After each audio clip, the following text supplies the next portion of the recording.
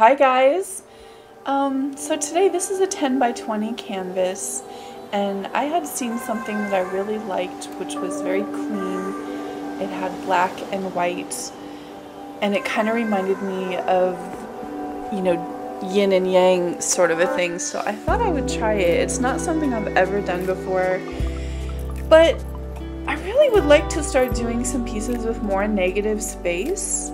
Um, it's not something I do very often, and I don't work with black that often. So this was all the way around just kind of a new challenge for me.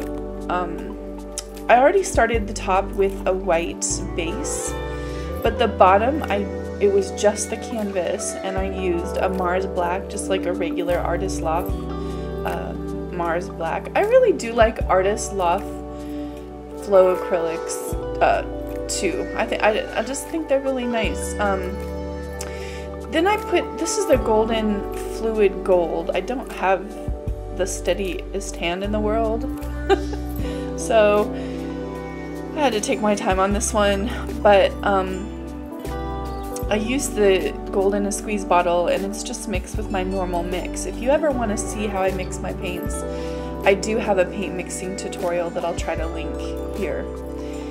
Um, then I followed up with the high flow gold because I've kind of been stuck on the high flow acrylics by Golden for quite some time. I wasn't sure what was going to happen because, you know, a lot of times when you put the high flow, it makes those dendrites, those fractals, which is really pretty and I do like it. I wasn't necessarily going for big fractals and what ended up happening is the paints were so thick, the white was so thick, the black was so thick. I really didn't get a lot of fractals on this one, which was just fine with me. And then I just did a normal uh, dirty cup. So this is basically um, a few different shades of blue, turquoise. It's kind of my little weirdo color palette. I use my um, burnt orange in there by Golden, which I really love.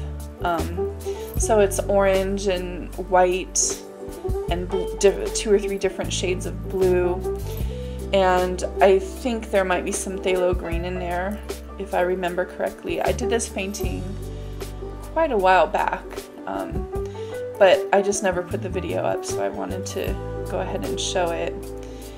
Um, I wasn't sure, sure where I was gonna go with this. Uh, you can see I, uh, there's me being frustrated. I was like, oh, gosh, I dropped some white paint on the black, and the black was like totally perfect.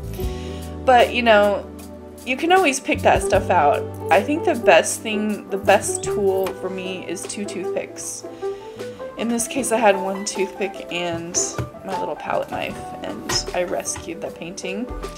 But, um, you know, I wasn't sure where I was going to go with this. I had made a smaller piece that I may decide to show the video on at some point.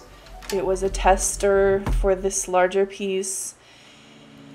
And I liked the way it turned out. It maybe wasn't my absolute favorite, but you know, this is what I'm learning about art is just because it's not your absolute favorite doesn't mean someone else doesn't absolutely love it. Um, then I got my airbrush out. You can see my paint consistency is quite thick. And initially I wanted to like preserve some of those white lines towards the bottom.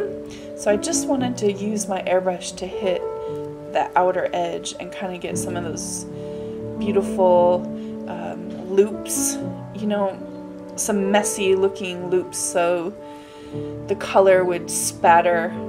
Yeah, there we go, spatter. you know, I do have to protect my wall. I live in a rental and I'm telling you, I have to be so careful.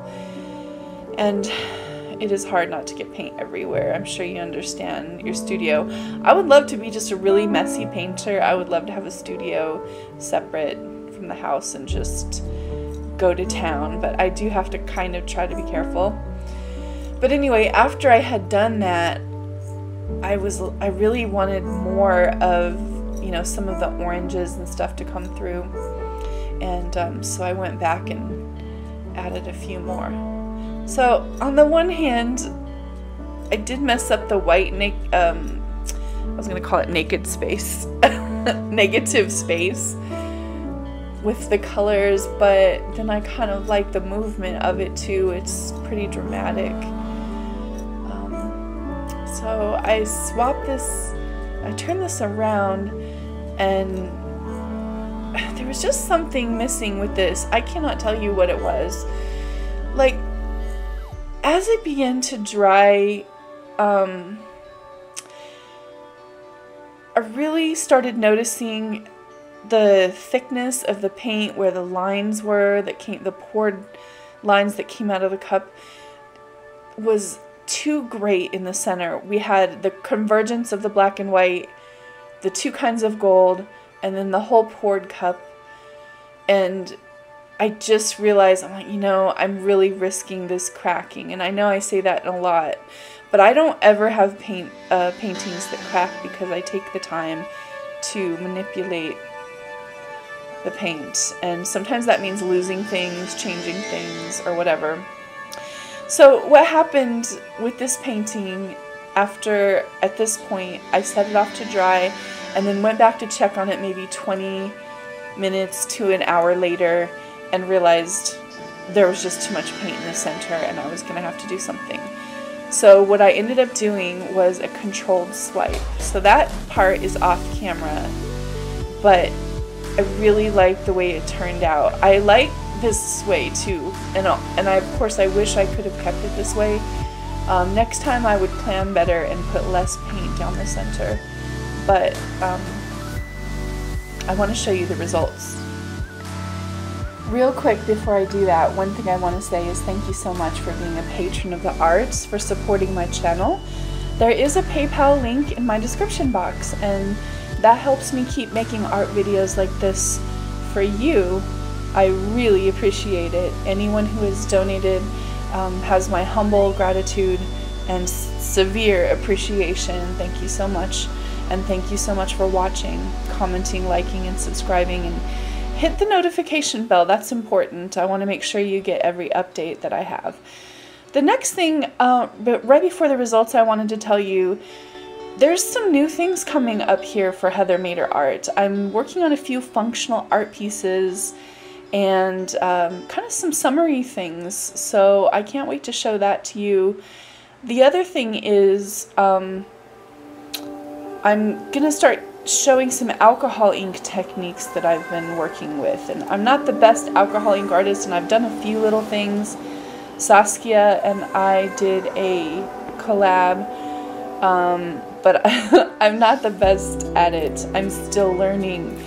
Um, but a couple of mixed media pieces that I think you will probably enjoy. So I'm excited to share those things with you.